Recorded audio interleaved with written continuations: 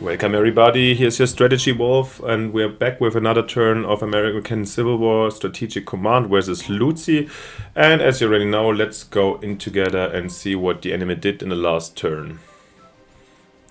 Okay, there we go with the replay.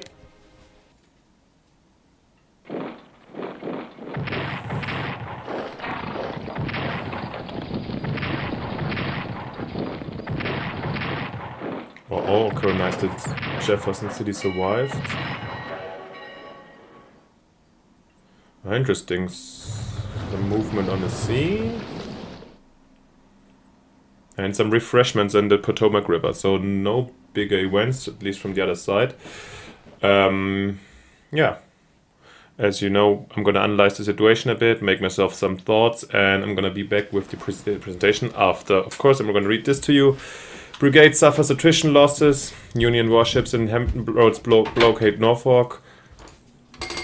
And an event. Strategic advice. Mr. President, the border state of Kentucky has considerable importance in this war for independence. Not only is it home of thousands of sympathizers for our cause, but it also covers the most likely routes of an invasion into Tennessee, the Tennessee and Cumberland rivers. Despite our best efforts, the state's legislature has fallen under the control of Unionists who will block any further attempts to cause Kentucky secession. We must now prepare for the state's eventual sliding in the north, which is likely to occur in the next few months. Most importantly, we should begin deploying units in northern Tennessee so that important cities such as Nashville are protected. It may also be a good idea to invade Kentucky ourselves so that we may secure key locations such as Paducah before the Northern Army can occupy the state. This will require us to declare war on the state, which may be done by the wars map or diplomacy screens. Okay, yeah, we it's basically a recommendation what we have been doing the last weeks and station some troops in Tennessee anyways, but yeah, I might over consider this for sure. Okay, I'll be right back with my presentation of my actions and yeah, see what happens. Okay everybody, we're back after the replay and I had a look on the actions of the enemy. We saw the attacks in Jefferson City, some refreshments here, uh, and some attack here over the Potomac, uh, just a little trial attack here. As well the warnings about Tennessee and so on. And yeah, nothing really big, but yeah, let's just do it one by one. And we're starting in New Mexico since this new front suddenly appearing. And yeah, we see there's apparently here also a tiny regiment from the Union side, and we have our regiment here. These are the volunteers that formed here in Mesilla. Um, I think I want to protect here this this bridge, uh, this this river crossing. I doubt they can move here around through the mountains. It would be too many action points. So just like move up here. This is basically a standoff and I tried, this was the main primary target here was the Chino Mine, which provides two MPPs per strength, so probably 20. So in case we take it, I hope there's no protection here, let's just try. Wonderful, so yeah, this is some extra MPPs and some missing MPPs for the opponent for the moment. Um, yeah, like to support this entire action, we've been moving down this brigade like the last turns, as you remember. Uh, we can bring it only to Braunfels, not to this one, but yeah, we're gonna bring it to El Paso soon. Since, yeah, the Union, I doubt that there might be um, yeah, reinforcements coming down from the north, and so sometimes per event they get like, first of all, the Apache might join the Union, and also, um, which, like, where's the Apache? Oh, they're at zero, so yeah, should slowly move towards our side. Let's see. Um, and there's an event where Californian troops arrive here in this area. I know about this. So yeah, we need we'll need reinforcements and there will be troops here. So, but this was at least what I wanted to achieve: a quick uh, like takeover of this mine. This was the main primary target around here. Okay, let's go. Keep on going. We we here at Fort Washita. We saw we saw that these dudes here attacked the regiment and attacked the Choctaw Indians. We can go for a 1-1 trade-off. I mean, they have supply 5, so they could resupply here. Um, I'm kind of happy to do so, to be honest. Oh, oh, bad, against the odds, bad outcome for us. Let's maybe just protect this city a bit. Yeah, I don't know if I can take forward, take forward Washita with these um, cavalry units, but uh, at least we keep them busy. Okay, let's continue here. Um, here I forgot last turn that I can't go this way into the Indian territory because it's the neutral. So I will take down either here for this side or for here. I feel a little bit unprotected here, so I think I move them back to this, so to bring them up here and to protect a little bit this area for us. So, okay, up here we have to reinforce Jefferson City to 5. So yeah, the chances I get, like the readiness and the morale is going down turn by turn. So at some point I expect um, to definitely to surrender, which will lead to surrender of Missouri and all these territories will jump back to the other side. So for to keep our supply open, we need to clear it up very quickly, quickly these lanes, these streets, which makes our position up here a little bit too up north actually, but I find it quite nice in for a couple of other reasons. So yeah, I'm gonna designate kind of this cavalry brigade to once the situation flips to right up this street to open it up very quickly. So I bring the cavalry actually here, close to the border. And these dudes here, these regiments, I, I think it doesn't really have a fighting power, but I will place them here to protect the mine, basically. So in case any fast unit comes here over the plains, we have at least some protection. Um, yeah, and now some kind of unexpected thing that happened is, like, we were riding down here to just cut off these boys a little bit, or they're not fully cut off, I assume. But we saw that Cairo, which is an excellent center of operations for attacks from, which is Illinois, and here's Tennessee this is Kentucky, and here's our Tennessee. So we can attack here into Illinois. And since this is a fighting spirit objective, and quite a, yeah, big town where they can also, I think you can definitely, this Union can uh, station troops here. So I'm really, I think this is a mistake that the enemy didn't see that my troops were here or forgot about this area. So even though it costs me five action points. I don't know if I can get them easily out again, but just the fighting spirit is a great idea and it will hinder them to put down troops here in the area, which will be advantages for us to push, like at least here to secure these areas. So yeah, we'll definitely take Cairo. Let's see, like I have one more movement, so yeah, I don't know where I'm gonna go. Maybe I'm like I'm, I'm I definitely want I originally wanted them to open up this road here after for the same purpose as the other uh, cavalry. So this is kind of random that this happened. Um, nevertheless, to kind of support those guys and that they're not going to be cut off since this is a division and therefore has some value, I will send these dudes down here from Fort Davidson to Cape Girardeau, Girardeau to have this like stone open. I doubt there's going to be an attack like on this one, but still, this fort I want to be I want to be fortified, so I let these dudes, the dudes from Waynesville, march over here to Fort Davidson, just in case. And those dudes here, uh, I plan to replace them kind of with these ones here in Carthage. So yeah, I mean Waynesville is not an important position. This can be also like a very good fallback line here, and there's nothing valuable. So maybe I'll take Price down here. and bring those guys up here. So yeah, they will take the position here in Lebanon or like Waynesville, Hope, whatever makes seems possible. While those here protect this, and these ones try to open up the lanes. For the moment, I think this is a halfway acceptable situation here, um, since the enemy also doesn't bring or like has his units bound around Jefferson City, and if uh, yeah, they want to attack this city, they will not have the capacities to push very like immediately down south. So this should be fair enough. So yeah, this is like um, very surprising. Um, yeah, this is a surprise a success. And yeah, before you like start renting against your opponent, like still we're like she's a beginner, and I try to teach her all my best and like always give her tips if I see things. For example, I told about Jefferson City, but please don't be too hard since I feel like I'm still challenged already, and yeah, and also I'm making probably tons of mistakes. So yeah. Uh, let's have a look at Tennessee here. Um, so yeah, we already have some brigades here in position for. Uh, let's turn it. Can I bring them to six? Oh, interesting. Might actually do this since we we have, according to my plan, MPP like excessive MPPs at the end of the turn. So yeah, you know some some units that are in good supply. Where's the difference? I'm a little bit supplied, uh, surprised. Why I can why I could bring those guys to six and those ones not. Maybe because this have experience, yeah. And I can bring them to over strength, which is for fortress probably six. And this is a central uh, fortress here in the defense of Nashville, so I'm kind of tempted. Let's do it. six. Okay.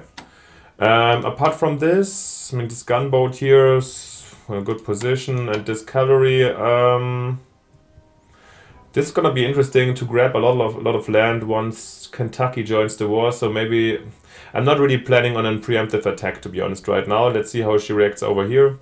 But at least I would love to have a HQ or two divisions for an attack. So I'm not gonna go with this lousy brigades.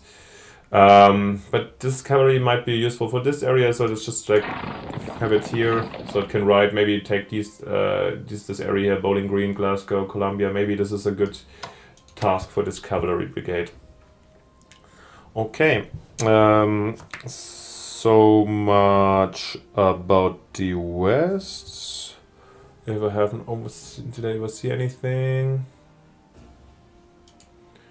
No, this looks good. Like, I think I've done my job in the west.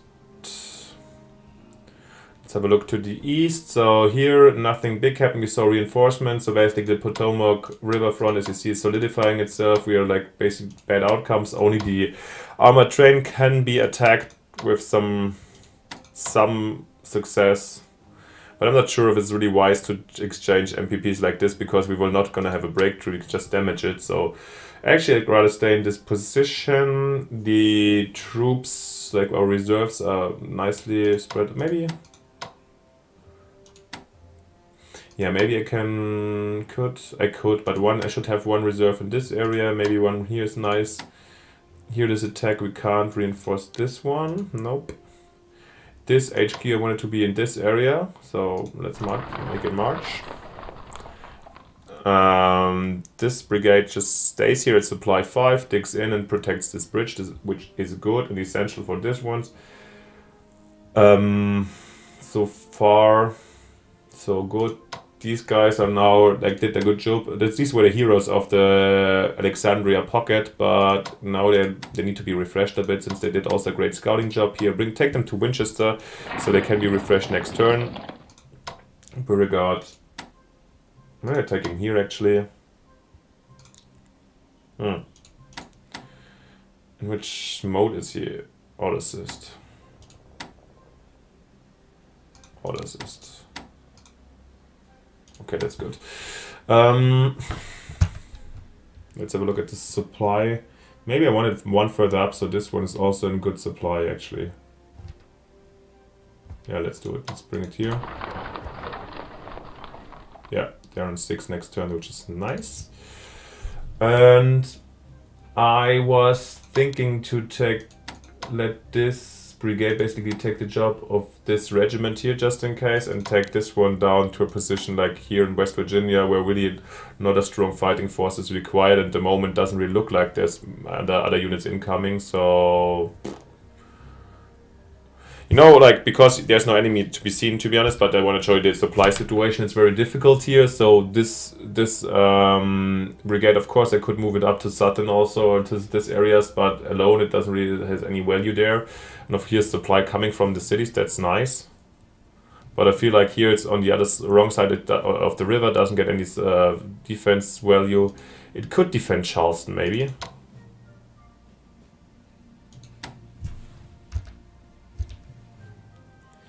Maybe actually if the enemy doesn't show, it's an interesting idea to, to take this one down here and then move this one to Charleston and have here in Charleston a good defensive situation. That actually is a good plan. But shouldn't it be this unit? We also have our rangers here for this this area. Who? Okay, let's move the Rangers from Richmond up here, definitely. They were planned designated for the Appalachians from my side, so yeah, let's keep stick with the plan. Um, these dudos can just move down. This brigade is gonna fortify itself here in the hill, hill forest position. Yeah, I mean, of course they can cross the river here, uh, but what they're supposed to do? Is like forest and no good supply, so I, there's not a big threat of these three brigades crossing here. It's like they won't push further than this. With worst, worst case, and they can always withdraw this reserve, for example, and try to deny this. They could consider actually filling up here the entire line. Maybe that's smart because then we have a, at least from this side I want to be safe. Okay. Not caring about the reserve anymore. Bringing in those, and then we move this a little bit more central. So it could help out at other places as well. Yeah, this is that is a good setup. I'm happy with this one. Yeah, so this is nicely defended. Um, the only way to cross the Potomac without fires here. Great stuff. Um, good one. So yeah, here you remember like the enemy made the mistake of moving this one up. So now it's like cut off supply and out of supply. I will refresh, however, just this one because there's no threat in anymore. And here's a 0 1, and we're not making any damage because Fort Butler is still here at the CC max trench 4. So it's quite entrenched, or it should be, or at least I can't deal any damage. But remember, I have the artillery incoming for October, so this is when we can start thinking about attacking the fort. Um, up there, until then, I will just refresh this, uh, damage this one time. I wasn't really sure um, what happens if it dies by itself, if I still get the bonus morale hit, uh, fighting spirit because at the moment this one is just a supply zero and I would get one damage at the end of the turn. So if I hit it here, then a 3-1 uh, expectation as well. So if I would hit it with 6 and the one is left and dies automatically, I don't know if I get a bonus and this is the reason why I'm keeping him alive another round and let the boys suffer in there. yeah, sad. Um, yeah, still no free brigades where, where we could to protect any of these uh, special um, areas that I wanted to.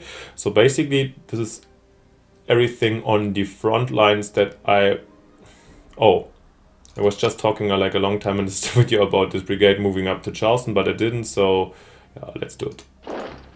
And this one goes here. Yeah, this is actually perfect because he is like he would come with very low supply and uh, even the uh, regiment could protect us. But you have the mines here, which is dangerous, but I don't expect, and we still have time to react from here maybe. I don't expect a very strong move from here, but let's see what happens.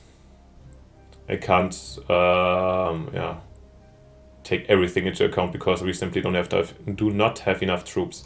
Okay, we have one new ranger unit to place. Um, yeah, where to place is a is the good question. Ah, oh, anyways, this one is a not a self-built unit. This comes from the, oh yeah, by event, I guess. So apparently it's for El Paso. Yeah, so let's keep them here and uh, make them go to. Ah, it's just it doesn't. It's actually can't spawn it there. It just indicates it's always green. Okay. This just was deceiving. Anyways, I will put them down in San, in San Antonio because this seems to be the place for them. So we can bring them to New Mexico next round, which is nice.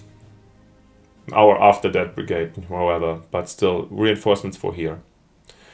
Okay, um, after this we're gonna spend our very last 150 MPPs that we can do spend up to the maximum of 3000 I was talking about it a lot and you know there's like option cavalry tactics there's corps organization there's field telegraph there's uh, infantry tactics we have already twice there's good options. But despite the extra cost and I was talking differently last round but I feel like at least I want to have the scouts and uh, skirmishes and to make our offensive troops a little bit stronger and get this moral bonus, moral attack bonus. So yeah, I will get one hit on skirmishes. So therefore we had like 3000 maximum spending. So we have to wait until something is done, probably spying and intelligence. But since, as you remember, I see kind of an edge uh, maybe for us in this field, so I will keep on pushing it so the enemy has a, a minus when uh, researching. So let's see. Okay, we have 830 left. Um, and I checked already what we can buy. We're gonna be kind of boring, let's say. And just get another division as well. Just we have one and maybe we get one per event, so which trick around. I will also get this one mountain division. Okay, which leaves us with 230 MPPs, which we could spend on ships or an armored train, which I'm absolutely not interested in. So nothing at the moment. Also the Indians cavalry requires 275. So none of those is really like possible right now. I was for a tiny split second during I was just making these turns, thinking about spending like another chit of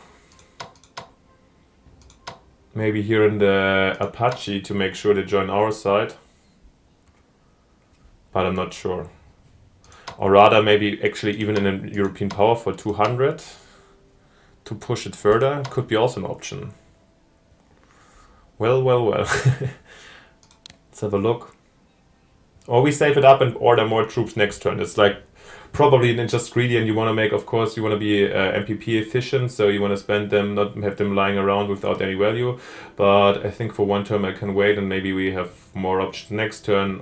If not, I'll think about spending it actually a diplomacy, maybe getting one. Let's see for a second. Maybe once we're already on it, let's have a look how much we're getting from these uh, actually at the currently from the convoys 16 from Britain 20 from the French and 13 from Spain. Um, and how much do they have in total actually? Is there a difference? 16 MPP is 100 percent